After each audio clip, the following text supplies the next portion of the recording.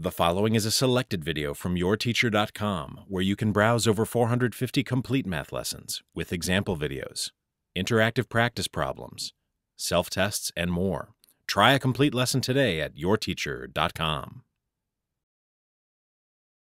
In this problem, we're given that y is the midpoint of segment xz, and we're asked to find the length of segment xz.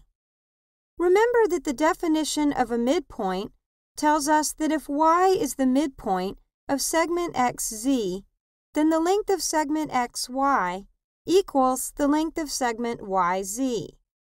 Since the length of segment xy is 3 times parentheses x minus 2, and the length of segment yz is 5x minus 12, then we can set up the equation 3 times x minus 2 equals 5x minus 12.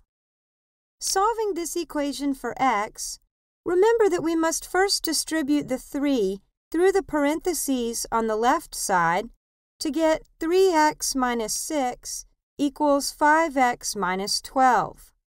And solving from here, we find that 3 equals x.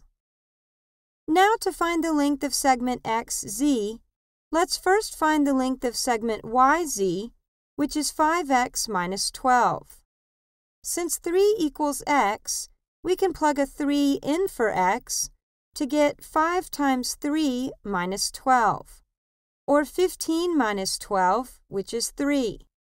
And since we know that the length of segment xy must equal the length of segment yz, then the length of segment xy must also equal 3. So, based on our segment addition postulate, the length of segment xz is 3 plus 3, or 6.